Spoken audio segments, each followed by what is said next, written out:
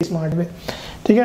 भाई कंपटीशन जो है वो paper is design to test your patience ठीक है?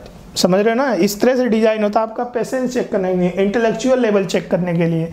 वहाँ फ़िल्टर है पेपर एक फ़िल्टर है। पेपर एक फ़िल्टर है। दूध में से क्रीम को निकालने का एक तरीका है पेपर चौदह लाख बच्चे हैं, सोलह लाख बच्चे बैठते हैं।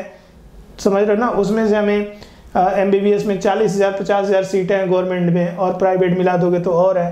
तो उतनी सीट हमें चाहिए तो क्रीम तो ये जो पेपर है, उस तरह से डिज़ाइन किया जाता है कि क्रीम पूरा बाहर आ जाए, ठीक है, और बाकी प्राइवेट में चले जाए। टू ब्लॉक्स तीन ब्लॉक्स का प्रॉब्लम है। ब्लॉक ओवर ब्लॉक प्रॉब्लम है भाई। अब इस टाइप के प्रॉब्लम को मैं आपको जो थियोरिटिकल लेक्चर है, उसमें मैं आपको बताया हूँ कि ट्रिक्स कैसे करते हैं, एक लाइन में कैसे करते हैं। अब जिसको ये ट्रिक्स नहीं पता है, वो क्या करेगा? स्ट्रगल करेगा। चलो तो अगर तीन ब्लॉक है, हमने एक फोर्स लगाया, एक चार के का है, चलो एक चार के का है, एक टू के का है ए वन के का है। ठीक है, अब इस पर मैंने चौदह न्यूटन इधर फोर्स लगाया फोर के पे। तो कहता है contact force between A and B A and B कहाँ भाई? ए ए है ए बी है, इसके बीच कॉन्टैक्ट फोर्स क्या होता है? नॉर्मल होता है। ठीक है? तो नॉर्मल चलो एक बार चार के जी दो के जी वन के जी चौदह न्यूटन इस टाइप का प्रॉब्लम है, ये समझो। ये ये फोर के जी टू के जी वन के जी और इस पर फोर्टी न्यूटन लगा। ठीक है? तो जो ट्रिक जो ट्रिक मैं पढ़ाया था, अगर उस ट्रिक से करोगे तो ये एक लाइन में हो जाएगा। नॉर्मल यहाँ फटाक से निकल जाएगा।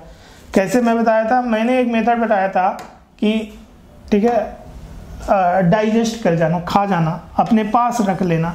जब इस पर चौदह न्यूटन लगा तो ये स्मूथ सरफेस है। सभी को पहले एक्सलेशन निकाल लो।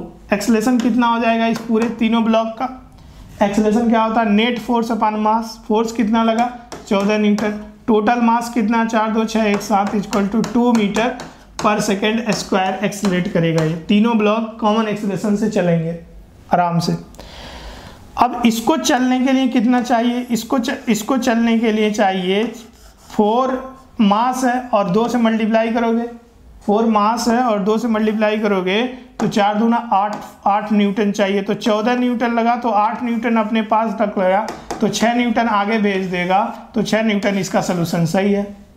अब ये छः न्यूटन आगे भेज दिया और इसको आगे जाने के लिए, और दो इसका मास है, दो एक्सलेशन है, चार चाहिए तो छः में से चार निकल गया तो दो न्यूटन ये आगे बढ़ गया, यहाँ पर नॉर्मल दो न्यूटन हो जाएगा, एक लाइन में हो जाएगा।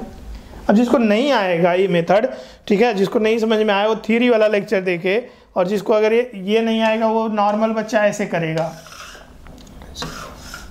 नॉर्मल बच्चा ऐसे करेगा।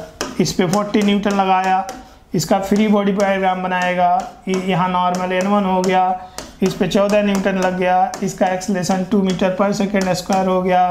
तो इक्वेशन लिखेगा कि 14 minus N one is equal to fourteen minus N N equal to two two M में इसका टू और मास इसका four is equal to eight newton that is fourteen minus N one ठीक है? तो ये आ जाएगा N one is equal to six newton ठीक है? इस तरह से अगर यहाँ भी निकालना हो तो फिर एक बार और करेगा। इस तरह तीन बार निकालना हो तो तीन बार टाइम कंज्यूम होगा। जबकि इस मेथड से बहुत आसानी से हो जाएगा, ठीक है? और वो मैं आपको पढ़ाया हूँ।